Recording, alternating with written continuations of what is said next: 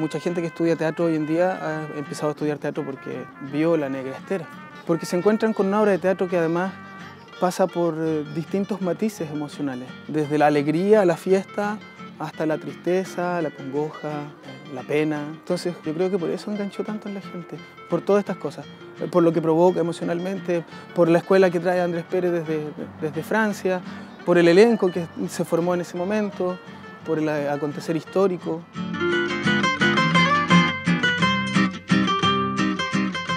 Yo aprendí y descubrí la Negra Esther en mi proceso de educativo en la universidad.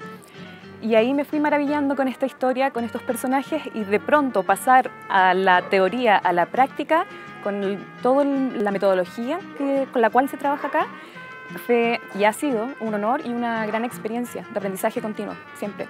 El montaje representa no una caricatura, sino los personajes de carne y hueso que uno se puede topar en el diario vivir. Entonces, obviamente hay un sentimiento de identificación por parte del espectador. A pesar de que pase el tiempo, las mismas emociones la gente siempre las va a tener.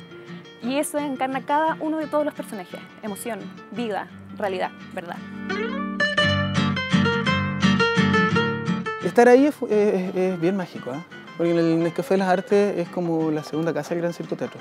Recordemos que ahí fue velado el cuerpo de Andrés Pérez cuando, cuando falleció. Entonces es un lugar, volviendo a la cosa de las energías, llena de energía, llena de misticismo, llena de magia.